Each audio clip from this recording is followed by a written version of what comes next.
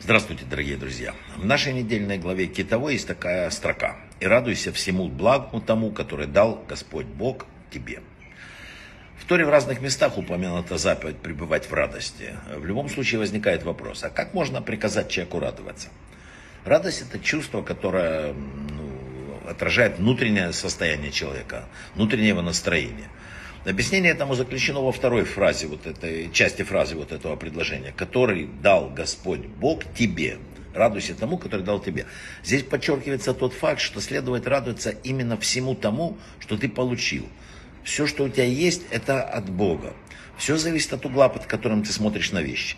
Если ты понимаешь, что все, что у тебя есть, это Божий дар, через это ты чувствуешь радость, любовь к Богу.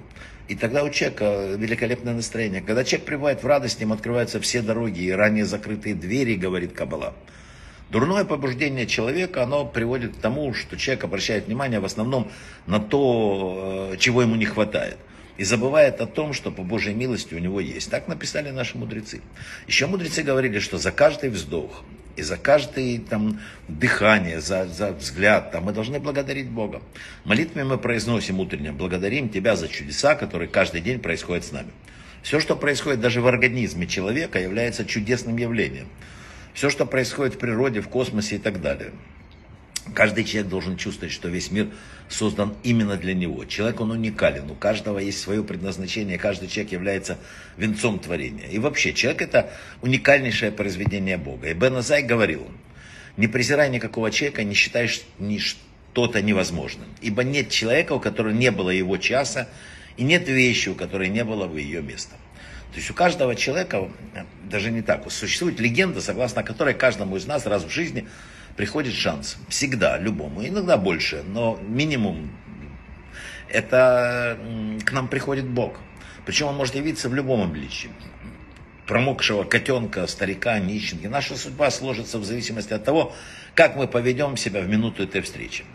Короткую массу. Жил-был человек, было у него три мечты. Иметь хорошую работу с высоким окладом, жениться на красивой, доброй девушке и стать известным всему миру. Однажды зимним утром молодой человек спешил на собеседование в известнейшую компанию. До встречи оставалось пять минут, ему еще нужно было пробежать квартал. Вдруг, правда, перед ним подскользнулся пожилой человек. Наш герой посмотрел на мужчину, на часы и, не подав руки, побежал дальше. К счастью, он успел на собеседование. К несчастью, его на работу не взяли. Следующим летним теплым вечером человек прогулился по городу и заметил группу уличных артистов. Он остановился, чтобы посмотреть. Зрителей было немного, пьеса была хорошая. После окончания представления послышались аплодисменты, люди начали расходиться. И в это время к нашему человеку подошла женщина. Это была главная героиня клоунесса. Она стала расспрашивать его, понравился ли спектакль. Но человек не захотел вести беседу, отвернулся и пошел. Будет он разговаривать с каждым. Следующим осенним дождливым вечером человек спешил домой, со дня рождения друга. День был тяжелый, он мечтал о ванной там, и так далее. Вдруг он услышал чьи-то рыдания. На скамейке сидела женщина и плакала. Шел дождь, она была без зонта, только в капюшончике.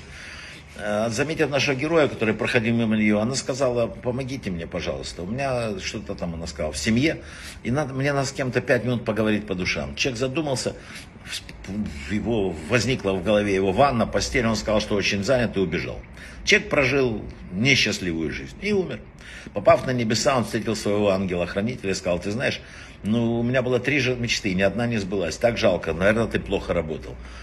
Ангел говорит, друг мой, я сделал все, но ты сам прошел мимо них. О чем ты, говорит он? Помнишь человека, упавшего на скользкой зимней дороге?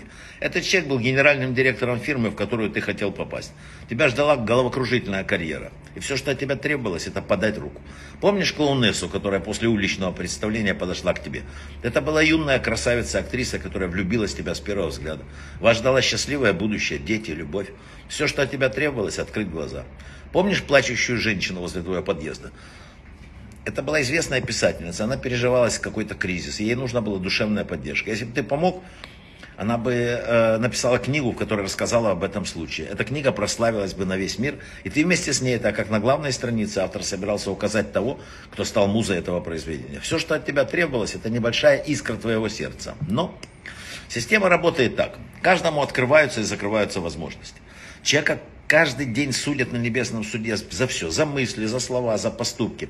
Это означает, что суду подлежит каждое отдельное действие, совершенное нам каждый день. Когда же обнаруживается, что человек совершил какой-то грех или несправедливость, ему, Боже упаси, так сказать, э, не про нас сказано, посылаются страдания, чтобы показать, что он должен раскаяться и исправиться. Итак, до вынесения великого приговора нам остается буквально 12 дней. Надо подтянуть слабые участки. В эти дни надо беречь время, не заниматься пустым и не обманывать себя. Еще маленькую майсу про обманы. Молодой человек пригоршнями стоит и разбрасывает хлеб вокруг своего дома. Подошли, спрашивают, что ты делаешь? Он разбрасывает средства, хлеб отгоняет тигров. Ему говорят, так, э, во-первых, хлеб э, непонятно как отгоняет, но вокруг нет никаких тигров. Он говорит, эффективно, видите, работает. Вот так вот мы не должны себя обманывать. Мы должны видеть, что в жизни шанс есть, надо только не проходить, хотя бы в эти дни открыть глаза, увидеть другой мир, увидеть, что у нас есть возможности, но иногда мы не дотягиваем. Давайте быстро все исправлять, время еще есть. Браха, вы от слаха.